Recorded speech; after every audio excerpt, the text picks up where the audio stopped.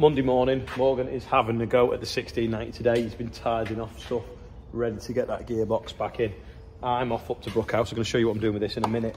Um, I've got to move some straw for the horses and have a look where they've been walking to the field because it's a bit muddy. We might have to put a bit of stone down. Don't know. Um, we've been measuring windows as well for the for the new shed. So hopefully they're on the way. I think it's going to take them about a week to make. I've left the bale spike up there, so hopefully I just need an empty Merlo, which is nearly empty on field, but it should be enough. I'll show you what this is for. That's off the birthday cake, the four year birthday cake. But no, I said I was going to put a big tractor on there. well, I think Amanda's put a sheep on. So I think we'll put that there, or should we put it there so it looks like it's on the field? Maybe we'll cover the horse up a bit more, eh? Really need to sort the cladding out on this shed. Yeah, I'll take this bale of straw over to the to the nags. Look how wet it is. It's ridiculous. We're out in the field, but this track's just a bit boggy, so I have to put something on it to make it a bit harder for them walking up and down. Gonna go and have a quick look at a field at Hale that's a bit sandy just to see whether we might later on today get on with some beans on the, with the quaddy. I'm at this field now, it's got a cover crop of mustard on that's just flourishing because it's not been killed by a frost, bit of grass weed. But you know what? I think we can go on this today because it's sandy. I think we can travel. So I think we'll get the sprayer, spray it off, and if it's not raining this afternoon, we'll come up with a quad track and we'll drill it with beans. Can you see the puddle starting to rain? That's just because we're about to put this new fitting on the quad track to go drilling. And now it's starting to rain. So annoying. It's supposed to be wet for the next three days. Then now we might get three or four dry days. Thursday, Friday, Saturday and Sunday. But we're going to get, I think, 14 mil of rain on Wednesday. So it'll take a bit of drying. Rob's putting that muffler thing on. And then there's a knife fell down there. Um,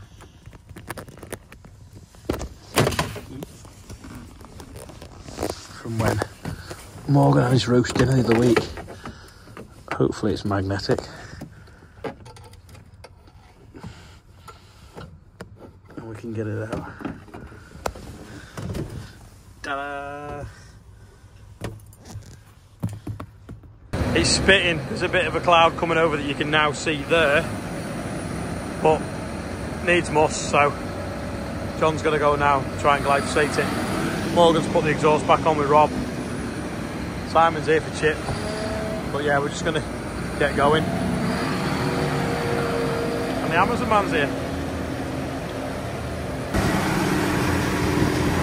We're going to volume wash it, but the dragging an empty fertiliser bag with him there now.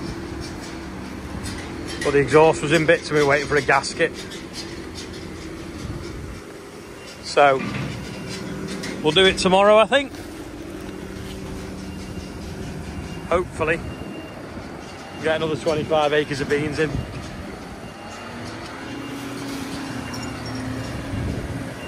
Looks small over there, doesn't it? So you zoom in. I was moving the hay before, but John loaded a load of wheat with this. the bucket is massive. Anyway, I'm going to take some seed down to the feel of it, I think.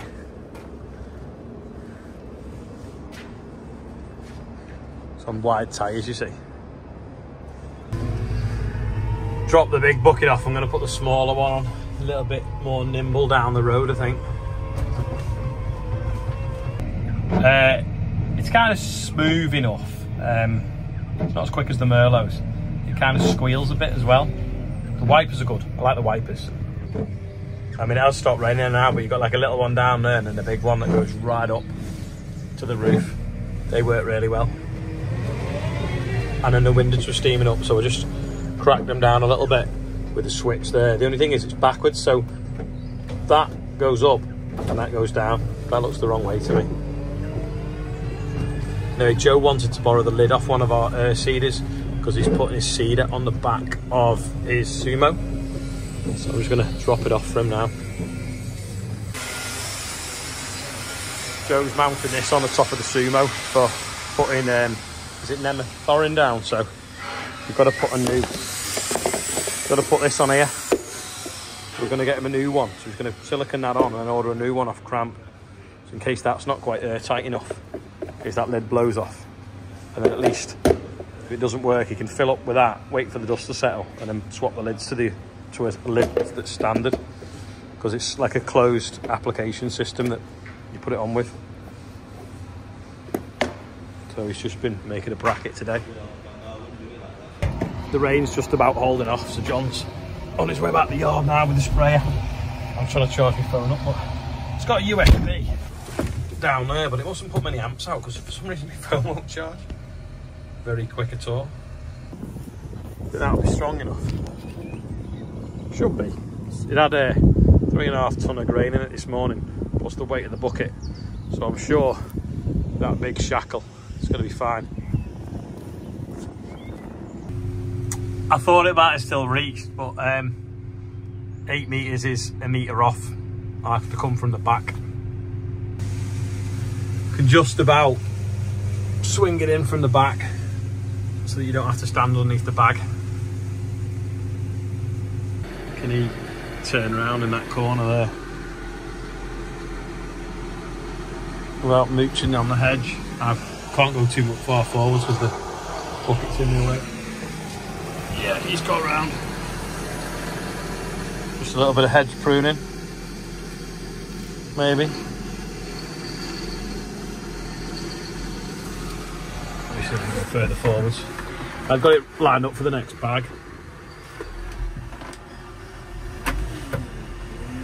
Uh, that wants to come in, that wants to go forward. Take a bit of getting used to this. Yep, he's round. The annoying thing is, we, we drilled a cover crop on this and then I thought it was going to spuds for somebody else and um, then found out it wasn't. So this could have been a nice field of winter wheat because it would have got on this in October. But instead, putting beans in in April is slightly annoying. Could have realised.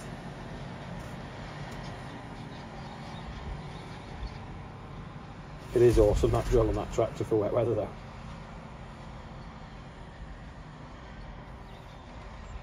Just got to his mark. I think now he's going to turn in.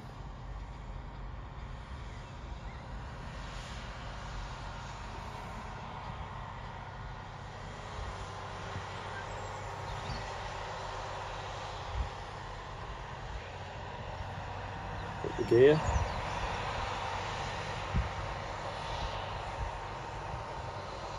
Good camera in it really. When you look at the zoom on it.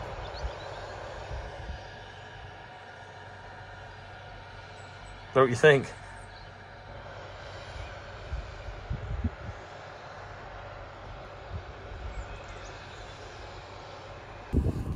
Just found this grub. Is it a caterpillar or some sort of grub? It was down there. Anyway, not got a lot left to do now. Just got a few passes up and down, and then obviously headlands to do. So just hitching the next bag up, ready to go in. Another 25 acres of beans in then. Another thing actually that's really good about it, you've got the auto loop, but also the engine automatically stops itself, which is quite handy. Anyway, I'm just going to see how Morgan's getting around this bend here. Drill on the back, we'll get a little video of it working. Had a little ride on to see all the red machines out today. Slice it in nicely.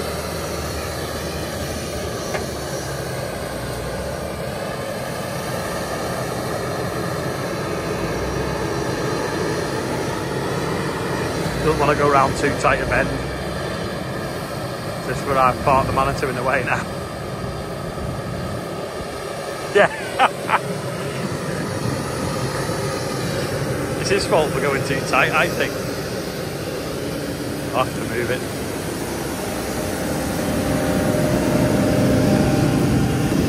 This is swings into it.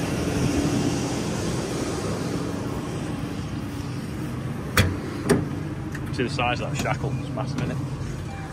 Charlotte's dad gave me. It's well handy. Now, loss of communication with the main ECU. Why is that?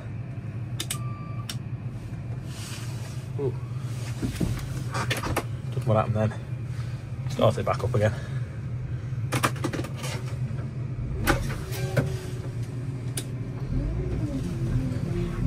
Don't know what's going on, but it's moving now, so we can get round the bend. Put that back to the middle. Jump back out and then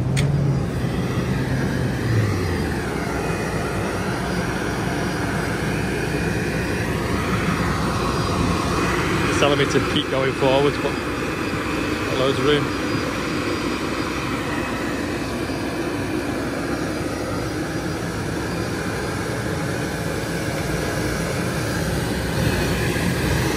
Gonna try and spray it and combine it.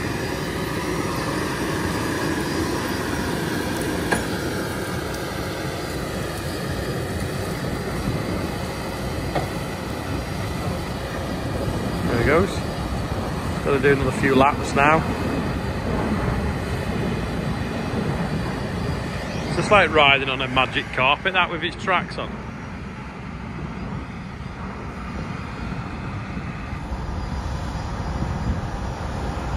Hope it's not too windy.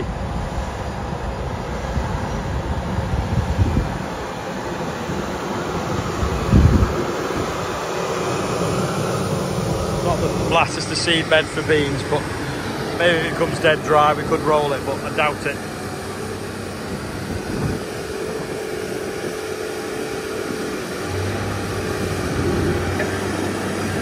Off he goes again.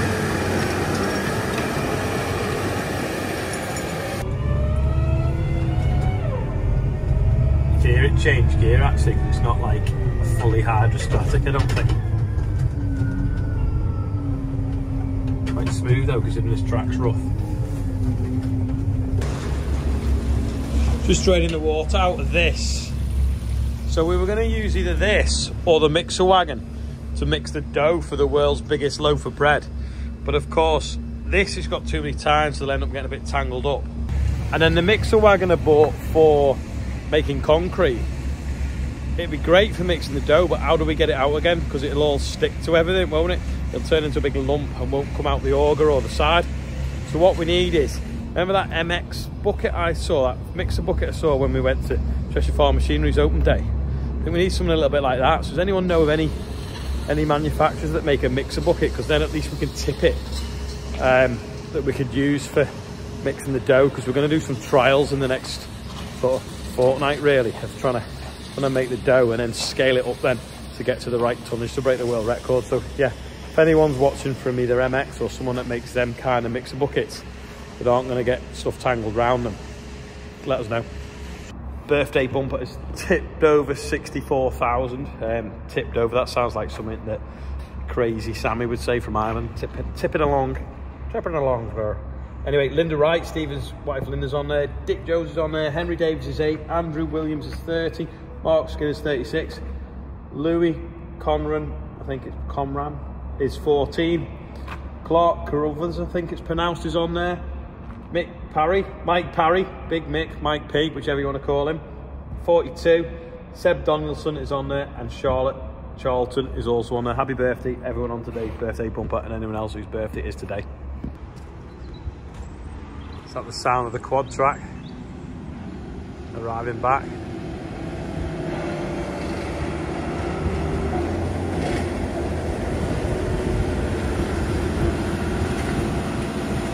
Another 25 acres done. It's actually drier now than it was when he went.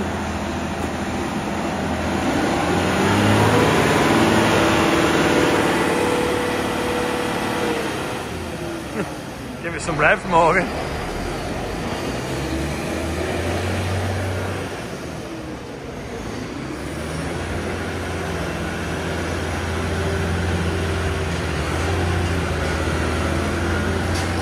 back it in. We'll get that. We'll get the volume wash on them tracks tomorrow.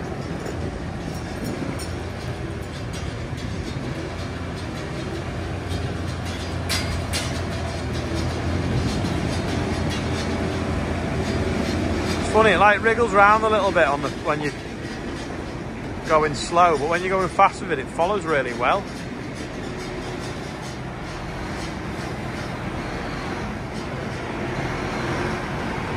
Guiding him back anyway, we don't hit the combine.